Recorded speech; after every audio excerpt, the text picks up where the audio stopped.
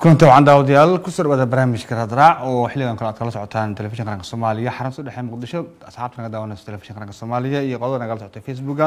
Habeen wanaagsan daawadayaal barnaamijka waxaa idinla socodsiin anuga cabdinaasir waxaana barnaamijka caaw ku eegi doonaa. Waxaa dalalka reer yurub gaar ahaan dalka jarmalka ka bilaabanaya doorashooyinkii ee dalkaasi waxaana soomaalidu ay sanadkan isbeddel badan ay ku sameeyeen ama horumarin badan ay ku sameeyeen in doorashooyinkaasi si qeyb u qaadan lahaayeen haddii ahaayeen kuwa la dooranay iyo haddii ahaayeen kuwa wax dooranayaba haddaba hay'adda ama hay'adda seco ayaa ah oo ah hay'ad soomaali ee maamusho ayaa ah dadka soomaalida ah dadka u fududeeyey islamarkaana ka saacideeyey arrimaha dadka soo galootiga dalka jarmalka iyo sida horumar dhankaas uga sameyn lahaayeen. Barnaamijka waxaan ku eegi doonaa rabaado qadaro horumarada dadkaasi sameeyeen iyo hay'ad ahaan waxyaabaha ay dadkaas u qabteen ayaa barnaamijka eegi doona waxaana qadka skype-ka rabaado qadaro barnaamijka igala qaybgeli doona gudoomiyaha maagasmaha hay'adda seco oo skype-ka xilligan qadka ku jira.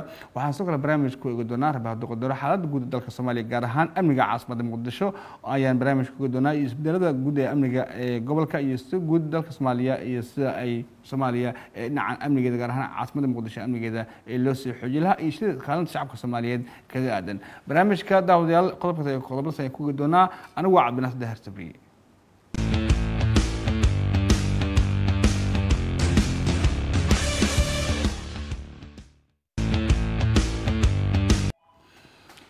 كلنا طبعا داودي الكسر بدا برامجك راتراع وحان برامجك النسع السنية عوان وعبد الناصر. Qodobka aynu ku horumari doono wuxuu noqon doonaa rabaado qadaro daawadayaal amniga caasimada iyo guud ahaan dalkeena soomaaliya ayaan barnaamijka ku horumari doonaa iyo sida soomaalida ay amnigeeda ubaahan loogu baahan yahay inay u xaqiijiyaan islamarkaana ay ugu qayb qaataan horumarintiisa iyo sidoo kale iyo kaalinta bulshada ee kaga aadan. Waxaa qodobkaas barnaamijka rabaado qadaro ila qaybgeli doona oo stuudiyaha ila jooga. Aad baan ugu faraxsanahay inuu stuudiyaha ila joogo falanqeeya arrimaha amniga aqoon-yahan siyaasi waa salaad muuse cali oo stuudiyaha ila jooga. Waan ku soo dhaweynayaa marka hore salaad cali muuse. Marka xiga rabaa inaan ku weydiiyo isbedelada lagu sameeyey amniga caasimadda gaar ahaan dhinaca amniga maamulka ee gobolka kale isbeddel lagu sameeyey maxay xilligan soo kordhi karaan? Maxaana tallaaba oo la gudban waqtigan marka hore waxaan salaamayaa dhammaan ummadda soomaaliyeed meel walba ay adduunka ka joogto. Marka labaad tv-ga qaranka. Sabriya waa ku dhowahay tv-ga qaranka. Horta magaalada muqdisho waxaa ka dhacay wax badan oo ammaan ah nabadgelyo ah ciidamada boolis militaarka aada ayay ugu shaqeeyeen amniga caasimadana maanta waa mid aada la isugu halayn karo waana wanaagsan yahay. Xiliyadii la soo dhaafay waxaan ogsoonahay in laga qaylo jiray ciyaal weero in laga qaylo jiray nimankan argagixisadaha al-shabaabka inay dadka ku dhex dilaan maanta waxaad dareemaysaa inay dhammaatay inay bisoolo soo qaataan iyo wax ku dhex dilaan iyo inay gaari qaraxa ay soo qaataan. Marka waad dareemaysaa in ammaankii sida hore oo ka sii reereynayo magaaladana aada ayuu ammaanku u fiican yahay. Marka waxaan leeyahay intii ka shaqaysay ammaankaasi dowladda federaalka iyo madaxweyne xasan sheekhba in ammaanka meel wanaagsan oo marayahay la sii adkeeyo sabri. Waya waxaa la socotaa in muqdisho dhalinyarada hadda abaabulan oo qaarkood baraha bulshada aada dadku isticmaalo ahay oo muqdisho falal amniga lidi ku ah ka wada ama ku sameeyey qaarkood hadda qaarkoodna xabsida xabsiga la dhigay. Arrintaasoo kale qalaqal amniga caasimada ma ku beeri kartaa tallaabada ay qaadeen taliska booliiskana ee gobolka bandarna maxaad ka maxaad ka dhihi lahayd? Sabri horta waa wax wanaagsan in tallaabooyin la qaado waxaan ogsoonahay meelihii laga xoreeyey argagixisada al-shabaab inay dagaallo ay ka dhaceen oo dadka bulshadii ahaa iyo qabiilaadkii laysku dirayo. Markii la baaray waxaa la ogaaday inay shabaabka ay ku lug leeyihiin. Waxaan rabaa marka dowladda federaalka waxaan ka codsanayaa saacaddan wax ka bilowdo in dadka social media qabiilka kacaynaya ee qabiilka isku dirayo in loo aqoonsado inay u shaqeynayaan shabaabka ay gacmahoodii soo gaareen. Waana is leeyahay inay gacmahoodii soo gaareen. Waa in loo sameeyaa xeer dadka qabiilka caynayo. Xeer oo lagu xukumo maxaan ku yidhahdaa xeerkaasi oo qofka lagu arkay inuu qabiil wax ka sheegayo. Xeerkaas lagu maxkamadeeyo dowladda federaalka inay ay ku dhaqaaqdo. Dadka social mediaha maanta ku jira qabiilada caynaya. Xataa qaarka dibada jiro aniga waxaan qabaa in interbolka loo diro oo la soo qabto oo la soo xiro. Maxaa yeele waxaa ka daran sabriye fidnada ay kicinayaan maanta magaaladan iyo dadkan degan inay madaxa isu geliyaan ay ka shaqaynayaan. Ayagoo meelo kale ay maaragtay iyo gacmo kale u shaqaynaya lana shaqaynaya. Marka dowladdu inay xeer ka soo saarto qofkii qabiil wax ka sheega dal iyo dibad meeshoo jirana in la soo xiro ciidan loo diro sharciga loo sameeyeyna lama siiyo waxaan is leeyahay taas ayaa aada ugu wanaagsan sabriyin maadsan tahay bulshada kaalin leeg ayaa labsikooda ka gudboon inay ilaashadaan amnigooda? Horta bulshada waxaa u habboon inay amnigooda ilaashadaan dan weyna ugu jirto. Waa ogsoonaa hadda soomaaliya iyo waxa ka dhacay iyo magaaladan. Magaaladan waxay soo martay burbur aada u baahsan in laga waayo biyo la cabo in laga waayo koronto in laga waayo baabuur la raaco oo waxaa dhici jirtaba in qofka dhaawaca in gaarigacan lagu qaado oo mar gaarigacan uu gaadiid ka ahay. Marka inay dadku maantana waxaan taaganahay inaan gaari cadcad wadano inaan dabaqyo degannahay in mukaafi inoogu jiro inuu leer inoogu jiro. Marka wanaagaas iyo nabadgelyadaas ilaahay uuna siiyey horta in la ilaashadana aada ay u wanaagsan tahay in meeshii laga yimid loo noqdana waa wax aada u xun marka bulshadu inay ilaashato danaheeda ayadaa laga rabaa dadka fidnada kicinayana lama waayo wax fidno kiciya. Dadka fidnada kicinayana inay ayaga soo sheegaan ay dowladda ay la soo wadaagaan dowladdana ay tilaab ka qaado ayaa sabriya wanaagsan. Waayahay saa socoto waxaad jira in gobollada dalka soomaaliya ay ka socdeen howlgallo lagu xoreynayo laga xoreynayo cadowga islamarkaana qabariishta lidib ku ah ciidamada isu kaashanayaan waxaa loo ruqaansadaa haddeertaan jubbooyinka iyo koonfur galbeed soomaaliya wejiga labaad xooggiisa la gelinayo ma tahay wejiga labaad inuu ka adka haddana wejiga koowaad mase waxaa aaminsantahay in wejiga labaad buu fudud yahay? Sabri horta waxaa waaye dagaal haddii la galo maalin walba waxbaa harayo. Horta nimankan dagaal badan baa lala galay jab badan baa la gaarsiiyey dhul badan baa lagu xoreeyey waxyaaba aysan filayn ayay geesiyaasha qaranka ciidamada geesiyaasha ay kala kulmeen. Dowladdana aada ayay ula dagaalantay marka waxaan is leeyahay ayagu hadda jab badanaa soo gaaray ayagaaba rabaan inay dalka isaga baxaan qaarkood oo qolooyinka ajaanibta meel ay ka baxaan hadda raadsanayaan waxaan is leeyahay hadda waxa u dhiman haddii ayagu ma ahane waa hadda waxaan is leeyahay waa ilag dhici rabtee. Inta yar inuu wejiga hore ka fudud yahay oo ilagtaasina haddii haddii la aado inay dhici doontaan rajeyna hadduu ilaah yidhaah waya wejiga wejiga wejiga koowaad dagaalka maxaa laga bartaa is leedahay? Oo wejiga labaad ee laga rabaa inay dowladda aada ka feejanaato marka laga hadlayo dagaalanka qabariijta wejigii hore waxaa laga bartay waxyaabo badan dowladda ciidamada deegaanka iyo dowladda markay isgarabsanayeen. Waxyaabo badan meesha ay ku arkeen. Waxyaabahaas waxaa ka mid a inay miinooyinka ay ku aasaan dhulka inay godod qotaan ay galaan. Waxaa kaloo laga bartay in ay markay meesha ka baxaan inay dad ku reebaan oo ayaga la shaqeeyo oo habeenkii ay soo wacaan informationna iyo wax ay ka qaataan. Marka waxaa waaye wejiga hore waxyaabo badan oo laga bartay ayay dowladdu iyo ciidamaduba ay ka barteen. Haddana inay iska ilaaliyaan waxaa ka mid a in babooyinka dhulka lagu aasayo in godadka ay qodanayaan ay maaragtay ay ku dhuumanayaan ay difaaca ka gelayaan sida geedaha hoostooda inay isticmaalayaan dad ayaga la shaqeeya ay kaga tagteen markii ay baxayeen oo oo naaga iyo iyo niman intaba leh. Marka waxaan leeyahay intaas ba laga foojignaado. Nimanka hadday meeshu ka tagaanna waxbay ku reebaane waxaasna halala socdo. Wejiga labaadna wejigii koowaad waa ka fududyaha oo wax yaraa nimanka u dhiman in in howlgalka la sii wado si inta yar ay kaga dhamaadaan dalka sibriga way fariinta abdulahi madaxweynaha dalka xasan sheekh maxamuud caawa maxay tahay talaa cali muuse horta magaaladan wadanka horta fidno badanaa timid nimankii qawaarita inay gacmo kale isticmaalayaan in bulshadii laysku dirayo in ayagii dagaal dhexdooda laga abuurayo fan iyo ay ku bixinayaan iyo inay bulshada isku dhacaan. Hadda waxaad dareemaysaa magaaladii ayayba fidnada timid ayagoo baadiye ay ka dhacaysa in social media hadda laysku caynayo oo dagaal iyo laysu farayo oo qabiilaadka la caynayo ee dadka bulshada ay kicinayaan inay dagaal qabiilaadka isdagaalaan marka waa wax adag waaye. Marka bulshada madaxweynaha waxaan kula talin lahaa uguna baaqayaa inuu u samaysto ergey arrimaha bulshada iyo social media hala socdo asagana si toos ugu geeya arrimaha bulshada iyo social media wax ka socdo si looga looga hortago maxaa yeelay waxay wadaan fidno aada u weyn oo daran marka sibri waxaan kula talin lahaa in ergey arrimahaas aada ula socdo in eh, madaxweynaha oo ergey u samaysto oo warbixin kaga keena social media bulshada ee sibri waaya dowladda soomaaliya saa la socoto oo xashan axmed hogaamiyo laba sana ayaa u go'day oo bishan may tobankeedii ahayd. Madaxweynaha waxaa la sheegay inuu guulo badan labadan sano uu soo hoyatay oo ay ka mid tahay la xiriirta saa la socoto cunaqabateynta hubka iyo waxyaaba la xiriira sida east africa community deegaano iyo degmooyin fara badan oo soomaaliya qabarti laga xoreeyey doorashooyin doorashooyin co- cod iyo qof ayaa hadda een, madaxweynuhu uu ku dhawaaqay. Waxaa isagoo xusmad in afar cutub oo ka tirsan dastuurka soomaaliya la meelmariyey ee haddana cutubada kale xarag laga jira ama la furay ansixintoodii markaas waxyaabaas markaas fiirisid labada sano socdo doorasho qof iyo cod ma la aadi karaa horta guulo waaweyn ayaa laga gaaray ee dalkii dibadaba guulahaas oo maaragtay ilaahay hirgeliyey in ay xaqiiqoobaan.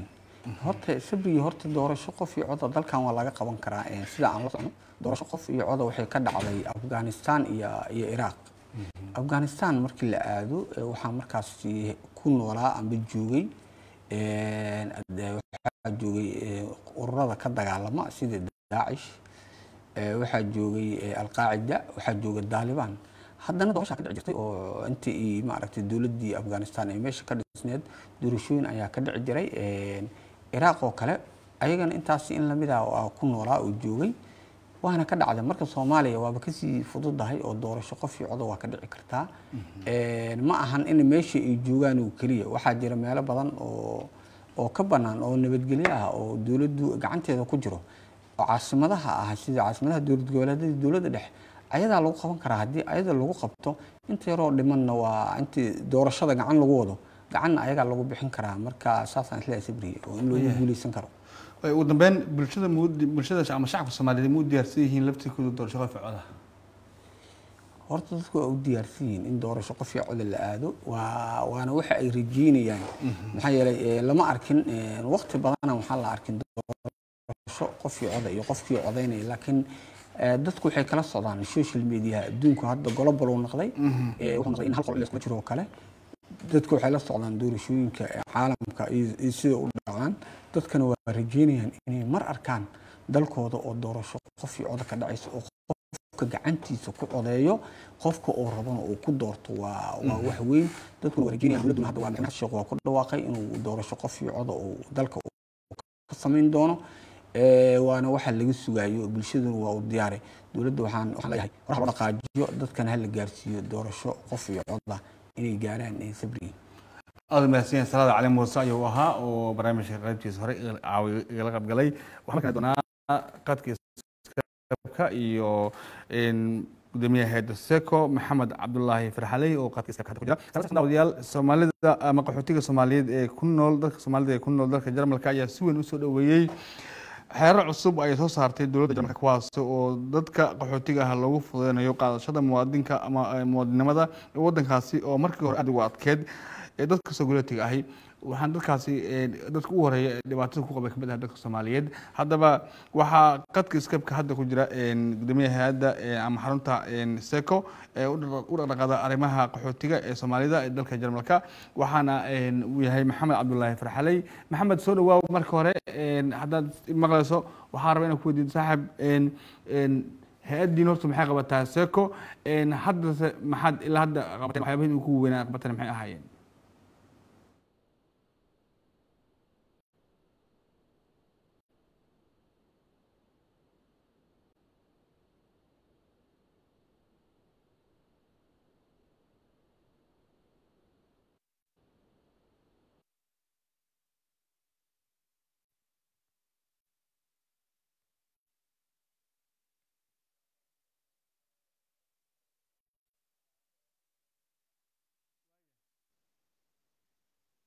maxamed maqashaa haddaan haddaan ku maqlayaa hadda ma maqlaysaa?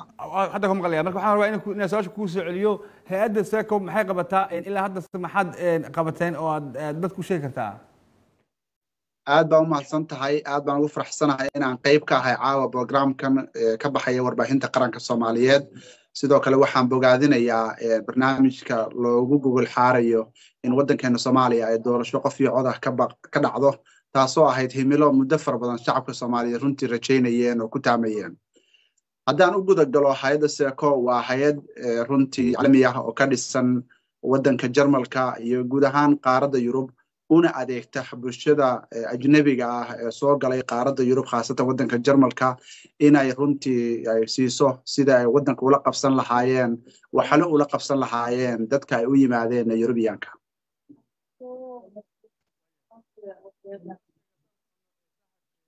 cabdullaahi farxali waxaa la sheegay in soomaalidu ay soo dhaweeyeen xeerar cusub ee baarlamaanka ama hay'adda sharci dejintu dalka dalka jarmalka ay ansixiyeen. Oo ay ka mid tahay in muwaadiniinta sogolootiga ah ee soomaalidu ay ka mid tahay ay dalban karaan muwaadinimada ama baasaboorka ay dalban karaan.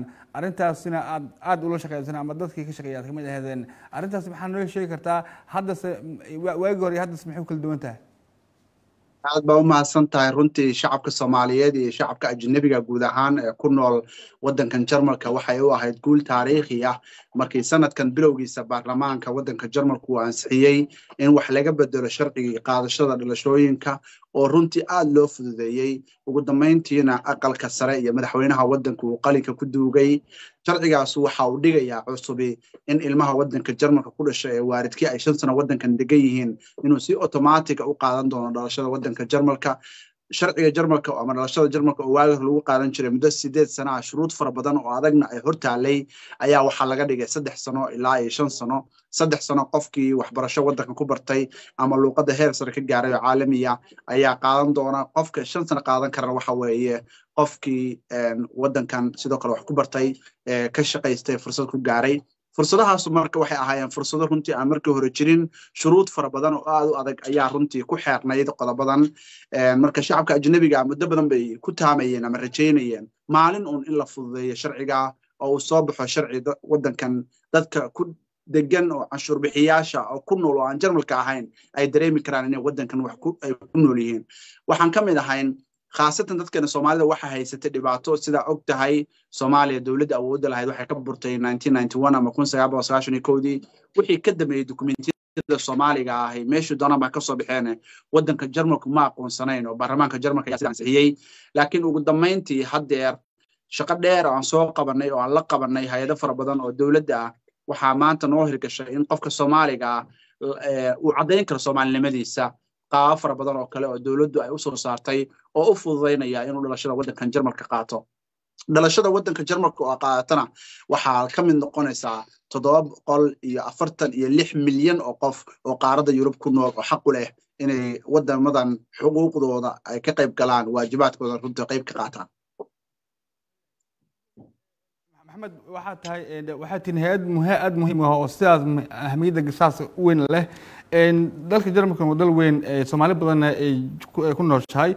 Gobollo badan iyo magaalooyin badan oo soomaalida iyo soomaalida ku dhiganta dalka jarmalka. Adigu ma hal magaalo ayaa ku siman tihiin mase magaalooyinka soomaalida tira badan ay joogto ay waa la socotaan sideese ku gaartaan dadka soomaalida ee ku kala nool daafaha iyo magaalooyinka waaweyn ee dalka jarmalka.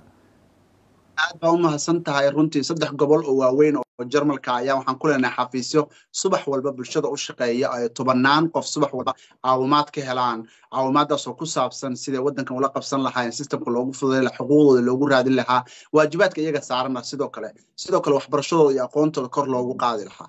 Intaa keliya maahee bishii sideed goor ka badan ayaan waxaan tagnaa sideed magaalo oo qaaradda yurub runtii ka tirsan. Waxaan tagnaa belgiumka waxaan tagnaa holland waxaan tagnaa switzerland austria iyo wadamo kale. Sidoo kale waddanka jarmalka magaalooyinkiisa kala duwan ayaan tagnaa. Waxaan ku qabanaa munaasabado aan tababaro ku siinayno ururada iyo jaaliyadaha soomaalida ee meelaha ku dhaqan. Sidoo kale halka ayaa waxaan ku soo bandhignaa dhaqankii soomaalida oo ay ka soo qaybgelayaan dadka waddanka ku dhaqan oo jarmalka iyo dadka soomaalida. Intaba si ummadda luuqadoodii iyo dhaqankoodii aan ugu hayno korna aan ururada soomaalida maadaama anagu aan magaalo walba ka shaqayn karin in ururada soomaalida ee magaalada ka jira iyo jaaliyadaha soomaalida ee magaalada ka jira aqoontooda kor loo qaado si ay iyagu ugu adeegaan ummadda meelaha joogta. Wixii caawimaad dheeriya oo annaga ay nooga baahdaan ay noogala soo xiriiraan intaa keliya maahee shan iyo labaatanka bishan hadda waxaan qorshaynaynaa ama qabanaynaa tababarkii ugu weynaa oo dadka soomaalida oo wax taariikhiya ah kaasoo ah dadka soomaalida in loo sharaxi doono qaabka waddankan doorashadiisa looga qaybgeli karo sistemka doorashadu qaabka u shaqeeyo si xisbiyada looga mid noqdo. Sababtoo dadka soomaalida muddo fara badan bay gacmaha ka xirnaayeen oo loo diidanaa dhalashada waddankan inay qaataan oo shuruudo fara badan ku xirnaayeen. Maadaama aan xaqoodii u soo dhicinay oo maanta ay boqolaal soomaaliya qaateen dhalashadii ilaahay baa mahad iska leh? Waxaan rabnaa inaan fursad u siino inaysan baasaboorka intay qaataan keliya ku dhoofini ay baasaboorka intay qaataan codeeyaan oo ay toddobada boqol iyo afartan iyo lixda milyan oo yurubiyaanka ay ka mid noqdaan oo sagaalka bisha waxaa la qabanayaa sagaalka bisha juun doorashada yurub aa dhici doonta. Marka waxaan rabnaa inaan u sharaxno qaabka doorashada yurub looga qayb galo qaabka miiska go'aan gaarista loo fariisto. Sababta maalin walba kuma jiri karno inaan cabanno. Waxaan rabnaa annagu iyo shacabkeena iyo aqoon-yahanadeennu inay ka qayb galaan xisbiyada waddankan inay ka qayb galaan sistemka waddankan inay ka qayb galaan meesha waddankan looga talinayo oo ay qayb ka noqdaan sida maraykanka canada iyo waddamo fara badan oo yuruba ka dhacday oo waxaan rabnaa gacmihii dadkanu ka xirnaayeen muddada fara badan inaan ka furfurno doorashada ay fahmaan ay ka qayb galaan codeeyaan dhalashada qaataan waxyaalo fara badan oo xuquuqdana aan u soo dhicinno. Waanu ku faraxsannahay labaatan iyo shanta in boqolaal soomaaliya ay munaasabadda isku diyaariyeen inay ka qayb galaan waxaa tahay halyeey marka loo fiiriyo hoolaha aad qabanayso iyo waddanka aad ka shaqaynayso ee yurub ku yaalla ee jarmalka oo qaarkood dadka weliba qaarkood lagu tilmaamo waddamada ugu adag dhanka sharciga ama dadka necab in lagu tilmaamo jarmalka kale. Marka loo fiiriyo inaad ka dhex shaqaynayso weliba u ololeynayso in soomaalidu meesha awood ku yeelato xaniyahooda kula soo baxaan oo meeshii gaagayaal ka noqdaan miiska wada hadalka yimaadaan meesha waddanka looga arrimiyo qayb ka noqdaan xildhibaanadii sanadadii iyo wasiiradii iyo golihii deegaanka ay qayb ka noqdaan aad halkaas u socoto. Waxaata waxaa tahay marka loo fiiriyo dhinacaas haliyey ummadda soomaliya sobaxad iyo gaar ahaan gaar ahaan dadka dadka reer yurub ee jarmalka hadda ku nool. Adiga laftirkaaga arrintaas ama kaheed ahaan wax caqabadaha ma kala kulantaan dadka cunsuriga ama aad jecleen sogolootiga dalka jarmalka ku nool. Waxyaalaha yaab kale waxaa ka mid ah maadaama munaasabadan qabanqaabinayno aan xisbiyadii dimuqraadiga ahaa ku casunnay waxaa jira sidoo kale xisbi u ololeeya arrimaha cunsuriyadda oo runtii dadka ajnabi nacaybka laakiin waa xisbi dimuqraadi oo shacabka jarmalka qaar ka mid ah baa doortay oo runtii iyagu ajnabiga necab. Xisbigaas wuxuu ka mid ah xisbiyada soo codsaday inay munaasabadan ka qayb galaan. Sababtay u soo codsanayeenna waxay lahaayeen qolo walba waxay raadinaysaa maanta inay ku guulaysato codkii soomaalida iyo codkii dadka ajnabiga ah. Laakiin annagu xisbiyada cunsuriga ah oo dadka ajnabi nacaybka ah weeye waxa aan doonayno inaysan xukunkan imaan waxaan doonaynaa xukunka inay yimaadaan dadka u ololeeya in ajnabiga iyo dadka yurubiyaanka ay isdhex galaan wax wada qabsadaan horumar sameeyaan. Sidoo kale intaa keliya maaha waxaan samaynaa soomaalida waxaa jira dad fara badan oo haldoora waxaa jira aqoon-yahano soomaaliyeed waxaa jira culummo soomaaliyeed waxaa jira ganacsato soomaaliyeed. Munaasabadaheena ayaan ku casunnaa dadka. Kor ayaan u soo qaadnaa. Waxaan dareensinaa qiimaha ay noo leeyihiin iyo inay wax noogu yaallaan. Annagoo rabna in dadkeenu mar walba aysan ku fekerin inay qaxooti yihiin waxaan rabnaa dadkeenu inay dareemaan inay yihiin canshuur bixiyaal. Waxaan rabnaa dadkeenu inay dareemaan inay waddankan xuquuq iyo xaq ku leeyihiin. Waddankana fursadda qofka jarmalka uu leeyahay iyaguna ay leeyihiin taana waxaan ku gaari karnaa waxa weye dadkeena aqoontooda inaan kor u qaadno taas weye midda aan maalin walba u soconno taas weye midda aan munaasabadda u qabanayno. Waa sidaas sheegtay caqabadaha cunsuriyadda iyo nacaybka ahi. Waa mid joogto ah oo dee adduunkao dhan ba ka jirta dadka madow la necab yahay khaasatan waddanka jarmalkana dee waxa waxaad ogtiin taariikh weyn buu leeyahay ku saabsan arrimaha noocaas oo kale ah. Laakiin waxaan rabnaa inaanan dadkaas fursad siin ee aan shacabkeena fursad siino inay codeeyaan inay doorashada ka qayb galaan. Haddii qofku uu baasaboorka iska qaato oo jeebka gashado haddii cunsuriga mar walba kor bay u kacaysaa codkiisu cod sababtoo codkaagaa maqan marka waxaan rabnaa codkaaga inaad ku ciilbaxdid waxaan rabnaa codkaaga inaad go'aan gaarista ku gaadhid meesha go'aanka laga gaaraya miiska inaad adi fadhiisatid haddaada fadhiisanayna inaad taageertid cidda fadhiisanaysa oo adiga kuu danaynaysaa oo aad ka hortimaadid cidda cunsuriyadda wadda. Arrintaa way arrintaan ku haminayno. Taas way taan u dagaalamayno taas weytaan rabnaa shacabka soomaaliyeed oo waddamadan ku dhaqan inay ku celiyaan sidoo kale waddankooda sababtoo halkan hadday horumar ka sameeyaan dhaqaale ka sameeyaan hadda nin walba waddan buu leeyahay waddankoodii bay ku celin doonaan wixii wanaagsan. Sanad walbana tobanaan mashaariic ah ayay waddankii qurbajoogta ku celiyaan khaasatan soomaalidu gaar ahaan dhalinyarada hadda way ku yaaceen dalalka waddan badan ayay kaga soo duseen oo ingiriiga ka mid tahay xadeedka dalalka jarmalka uu leeyahay dalalka reer yurub ayay qaarkood soo buuxdhaafiyeen sida la sheego oo meelaha fofog ee baadiyaha ayay joogaan. Soomaalidu qaarkood oo hadda soo galootiga ah oon luqada aqoonin lacaga hanaysan waxba hanaysan xiriir haysan dad jarmalka aqoonin luqadan ay aqoonin dadkaasoo kale sideed ku caawinaysaan ama sideed u caawisaan isla markaana ugu sharaxaysaan waxyaabaha faabuutanka ah ama waxyaabaha qaladka ka ah waddanka jarmalka kale inaa u sharaxdaan oo kale.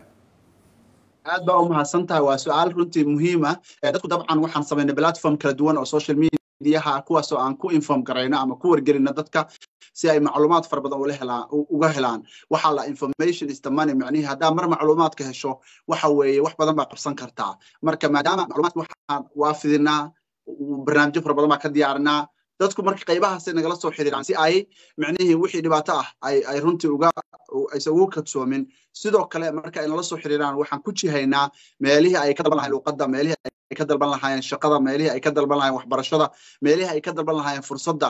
Mar rabna annaga dadki sida annagu waagaan waddanka nimi dhibta nagu dhacday inay dadkeena dhacdo. Waagaa annaga waxa weye kaan baa laiska kaageliyey waxa maana kala ogeyn war maan ahayn fursadihiina lama sharxin lama sheegin. Laakiin waxaan rabnaa dadkeenu maanta markay soo galaan dhalinyaro muqdisho jaamacadda kaga soo baxday baa jirta dhalinyaro gobollada jaamacadda kaga soo baxday baa jirta dhalinyaro wadamo kala duwan jaamacadaha kaga soo baxday baa rabtaa ma rabno in la yidhahdo dhalinyarada waxbarashadiini qariya ee waxaan rabnaa inaan idhahno waxbarashadiini sheegta. Halkana wax kaga qabsan kartaa waddankana idiin baahan.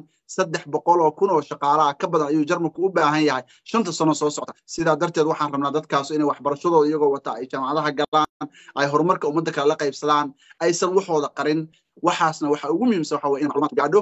Taasaana ka shaqaynaa habeenii maalin u taagannahay taasaana ku faraxsannaa idinkuna inaa ummadda gaarsiinaysaan hay'ad ahaan sida qaabka u dhisanta marka la fiiriyo maadaama hay'ad saas weyd oo soomaalidu iyo guud ahaanba dadka reer ay dadka sogolitiga aad caawisaanba ma u qaybsan tihiin qolo ama qayb qayb category maka leedihiin oo qolo caawisa carruurta qolo caawisa haweenka qolo caawisa dhalinyarada qolo caawisa dadka caafimaadka qolo caawisa waxbarashada qolo fiisaha iyo dalabgalka iyo wax ka caawiso qolo waxbarashada saas ma u qaybsan tihiin oo qorshe ama qorshe mid ku jirtaa aad baa u mahadsan tahay waa sidaa sheegtay weeye. Waxaan leenahay waxa jarmalka loo yaqaana baqaayisha ama qaybo ama sections kala duwan. Sectionskaas oo ka shaqeeya qola waxbay ka shaqeysaa kuwa waxa ka shaqeeya dhalashooyinka keliya kuwa waxay ka shaqeeyaan ilmaha yararka iyo dadka ajnabiga ah. Ilmahooda ay kuwa carruurta qaata ay runtii dhibaatada ku hayaan ama family problemku dadka uu haysto. Qaar baa waxay ka shaqeeyaan mashaariicda dibadda. Mashaariicda dibadda laftigooda kala qayba qaybta caafimaadka oo kale iyo qaybta horumarinta oo kale iyo qaybta koruqaadida ganacsiga dhaqaalaha oo kale iyo oo microfinansiga iyo waxyaalahaas oo kale. Marka qaybahaasaa runtii baan baan u qaybsannahay tiimkeenuna ma aha tiim oo soomaali keliya waa tiim isku dhaf ah oo waddanka jarmalka iyo dad carab ah iyo dad kaloo ajnabi ay qayb ka yihiin oo shaqada ay qayb ka qaataan. Waxaan halkan rabaa anoo fursaddan marna aan beeldaraynayn inaan uga mahad celiyo dhammaantood anoo luuqad walba ay ku hadlaan ugu mahad celinaya waxaa sheegtay ina barnaamijkun aad qaban doontaan barnaamijkaasi waxaad aad kaga golledin muxuu yahay miraha ka soo bixi doonana hadduu sidiisa u hirgalona maxay maxay noqon karaan aad baa u mahadsantaha barnaamijkan maadaama aan isla wadno dowladda iyo xisbiyada kala duwan oo waddankan aan isla wadno waxa aan doonaynaa dadka soomaalida ah in aan ku dhiirigelino dareensiino. Dowladdana inaan dareensiino dadka soomaalida aana dareensiino. Badanaa dadka jaalidu waxay sameeyaan dadka soomaalida keliya ay caawiyaan. Laakiin annagu dowladdii baan caawinaa. Dowladda maxaan ka caawinaynaa inay fahmaan dadkeenu meesha ay u socdaan inay fahmaan dadkana problemka haystaa inay fahmaan dadkana waxa ay doonayaan inay gaaraan. Sidaa darteed labadii dhinac oo isfahansiinaynaa barnaamijkan shan iyo labaatanka bisha may aan qabanayno oo sabtida soo socotaa ujeedka aan ka leenahay waxa weye dadkeenu inay fahmaan sistemka doorashada yurub iyo sistemka doorashada waddanka jarmalka ee golayaasha deegaanka oo ah kuwa iyaga sida gaarka ah runtii u taabanaya waxaan rabnaa inaan sharaxaad ka siino sistemka ama qaabka u shaqeyso dimuqraadiyaddu. Waxaan rabnaa inaan sharaxaad ka siino waxa uu ku fiican yahay baasaboorka jarmalka oo ah baasaboorka number one adduunkooda maanta ka ah oo inta ugu badan wadan boqol iyo afar iyo toddobaatan ama sagaal iyo toddobaatan wadan ayaa bilaa fiisa ku tegi karta haddaa baasaboorka jarmalka weeteed marka maadaama uu yahay waddanka saddexaad oo ugu dhaqaalaha badan dadka waxaan rabnaa inaan laga tusin mar walba cunsuriyadda iyo sistemka jarmalka oo adag keliya waxaan rabnaa inaan ka tusino dhinaca wanaagsan iyo dhinaca positiveka. Dowladdana waxaan rabnaa inaan ka tusino meelaha ay ka xiran tahay. Inaan dhinaano war meelahaas jilciya oo dadka u fududeeya wax badanna runtii waa hirgalan oo adiga arkaba. Waxaa tusaale kugu filan soomaalidu maagii hore inay waddanka jarmal gudihiisa isku guursato oo isku nikaaxsato sistemka waddanka jarmalka ma jiri jirin lama ogolayn sababtoo ah waxa weeye waxaan la aqoonsanay dukumentiyadooda maanta waxaana hay'adda keliya arrintaa runtii ku guulaysatay magaalooyinka aan ka shaqayno waxay ku guulaysteen qofka soomaaliga intuu dowladda hoose tago inuu sistemka waddanka jarmalka isku soo nikaaxsan karo arrinta marka ku jirta meesha waxa weeye qofku markuu yahay family loo aqoonsan yahay oo nikaax sharciga waddanka jarmalka loo aqoonsan yahay canshuurtii waa laga yaraynayaa waxyaalo fara badan oo familku ay lahaayeen oo fursadaha baa la siinayaa marka waxaasoo dhan bay dadka soomaalida ah tusaale ahaan oo kale bil walba qofku hadduu shaqeeyo shan boqol oo yuuro lacaga baa u baaqanaysa oo famil ahaan ugu baaqanaysa haddii uu guurkiisa loo aqoonsado arrimahaasoo dhan ilmaha soomaalida ah waddanka ku dhasha dhalashada waddanka jarmalka lama siin jirin. Waxaa la siin jiray dhalasho la yidhahda register uwakunde ama warqad diiwaangelin keliya ah. Warqadda diiwaangelinta marka maanta waa laga bedelay dhalashada caadiga ah. Waddanka jarmalka ayaa la siinayaa dhalashada caadiga ah ayay waxay ku qaadan doonaan insha allahu tacaala. Bisha juun wixii loo gaara ka dambaysa dhalashadii rasmiga ahayd ee waddanka jarmalka iyo baasboorka jarmalka. Waana horumar la gaaray runtii wakti badan aan ku bixinay. Magaca soomaalida inaan meel badan ku matelana waa waxa aan ku taamayno biidni illahi tacaala. Waxaana ku boorinaynaa sidoo kale hay'adaha iyo jaalidaha soomaalidana. Sidaasoo kale in ummadda loogu shaqeeyo oo horumarka qayb laga qaato. Sababto dadkeenu waa dad soo dhibaatooday soddon sano dowlad la'aan ahaa mooyinka ama consuliska ee dalka jarmalka oo kale hay'addiin ahaan sidee ula shaqeeyaan oo wada shaqeyn toosa ma leedihiin sideesa arrimihiina u sharaxdaan ee soomaalida dhibaatooyinkooda ee dhibka haysta sannadkii hore dhammaadkiisii waxaan ka qayb galnay casumaada noo fidiyey wasiirka integrationka waddanka jarmalka. Waxaan la kulannaa oo xafiisyadana kula kulannaa maayarada iyo golayaasha deegaanka iyo xildhibaanada ku matala meelaha aan ka shaqayno iyo gobollada kala duwan oo waddanka jarmalka kuwaasoo runtii aan ka dhaadhicino dhibaatada dadka soomaalida si loogu doodo. Midna waa kuu sheegaa qofku sidiisaba inaa hadli hooyadii ma garato. Haddaadan xuquuqdaadii adigu la tacaamulin oo aada raadsan oo aada u dadaalin. Hadda cidna intay kuu keento cunno kuusoo kariso haddana afka kuu geliso kulaqsiin mayso. Marka waxaan rabnaa inaan inaan nimaano oo ah annaguna aan dadaal la nimaano inta ka dhimana dowladdu noo dhammaystirto. Dowladduna qaabka noogu dhammaystiri lahayd aanagu kala shaqayno dadka sogolootiga hadda dalka jarmalka hadda mar uu galay ama qaarkood shan sano ama laba sano wax ka yarba jooga. In waxaa lagu tilmaamaa inay yihiin dad aan luqadda qaarkood baran boqolkiiba toddobaatan dad aan luqadda aqoonin ama ama juhda gelin in luqadda bartaan dalka jarmalka ee daashka aan baran taasna ee furaha waddanka laftikeeda ee tahay. In waddanka luqadiisa taqaano ama shaqooyinkii waxbarashadii meelo badan lafteeda kaa saacidi karto. Marka dadkaasoo kale xanuun inteelaga ay ku qabataa? Markaad markaad aragto qof soomaali ah oo waddanka intaas dhowr sano jooga aan luqadda aqoon ama luqadda aan suuq kaga adeegi karin turjumaan baahan. Xanuun inteelaga dareenta adiga. Wallaahi runtii waa sidaa sheegtay weeye luuqaddu waa furaha. Waa furaha waddan kasta iyo deegaan kasta. Xadiiska nabiga calayhi salaatu wasalaam baa ahaa ummadda oo luuqadahooda barta at least waxaa kaga nabadgelaysaan sharkooda. Marka waa muhiim qofku in luuqadda barto. Runtii waxaan dareenaa khaasatan waxaa jira dad rufu ku keena inay fursad u heli waayaan waxbarashada oo kale hooyo oo kale oo intaasoo ilmaha dhashay ilmihii korinaysa ma og fursad u heli mayso luuqadda iyaga laftigoo dad loo qiil samayn karaa jira. Laakiin waxaan ku boorinaa dadka iskuulaadka dowladdana kala shaqayna inay fursado khaasa ay siiyaan hooyooyinka soomaalida iyo dadka ajnabiga ah guud ahaan ay siiyaan. Sababtoo ah dadka ilmaha ku taxalluqa marka waxaa la siiyaa badanaa koorsooyin hooyada ilmuhu ay isla qaadanayaan. Ilmaha loo haynayo xilliga ay koorsada ku jirto oo koorsooyinka ah. Laakiin wasaa sheegtay way wayna damqisa xanuunna way nagu haysaa waana ku boorinaynaa. Meel walbo adduunka uu joogo qofku inuu luuqadda waddanka uu joogo u bato sababto haddaadan luuqadda waddanka aqoon waxaa kaa maqan wax walba oo waddanka. Ah cabdullaahi faraxaley faraxaley waxaan rabaa agaasimiina ugu dambeyn aad ku weydiiyo meesha aad u socotaan ee hegeysanaysaan maxay tahay seeka ahaan? Aad gartaan waxaan hegeysanayno oo ku taamayna waxa weeye bulsho soomaaliyeed oo waddanka ay joogto wax ka noqotay horumar ka samaysay dhaqaale ka samaysay waddanka jarmalka oo runtii inta badan laga sheego keliya dad soomaaliya oo dhibaataysan oo torreyo iyo balaayo iyo hawl wata inaan magacaa bedelno oo aan ku bedelno waddanka jarmalka inay ka soo baxaan aqoon-yahano siyaasiyiin dad wax ku oola oo waddanka iyo dadka wax tara ganacsad soomaaliyeed inaan soo saarno carruur soomaaliyeed oo waddanka saddexaad adduunka ugu dhaqaalaha badan ugu waxbarashada fiican soo baxay oo dunida iyo waddankeeni wax u tara. Taas way hamiga aan leenahay oo aan ku taamayno waxaan ku taamaynaa sidoo kale inaan safaaradda waddankeena soomaaliya ee waddankan ku taala aan la shaqayno oo aan maadaama haddaba aan la shaqayno howlo badan kala shaqayno inaan iyadana ku caawino in waddankeeni ay wax badan ku celiso oo wanaagga waddanka jarmalku leeyahay sidoo kale waddankeenina aan geyno. Soomaaliyeed ee ku nool dalka jarmalka fariinta aad u direyso lama la wadaagi lahayd ku aadan shan labaatanka mey maxay tahay aniga oo ka faa'iidaysanaya fursaddan waxaan leeyahay dhammaantiin dadka soomaaliyeed waddankan jarmalka ka soo wada qaybgala munaasabadda shan iyo labaatanka bisha may maalinimada sabtida ah saddexda galabnimo ilaa iyo lixda maqrnimo munaasabadda ujeedka aan ka leenahay waxa weeye inaad waddankan doorashadiisa iyo doorashada yurubiyaanka aad fahanto inaad aqoon kororsato inaad dadka wax la qaybsato in dhalashada waddanka jarmalka aad qaadato in miiska wada hadalka iyo go'aan gaarista aad fadhiisato in aan lagu turjumin ee adigu aad noqoto kan dadka caawinaya oo wax garab gelaya oo ummadda soomaalida oo meesha ay maanta joogto meel ka fiican tobanka sano soo socota haddii lahay ka dhigo ay gaarto.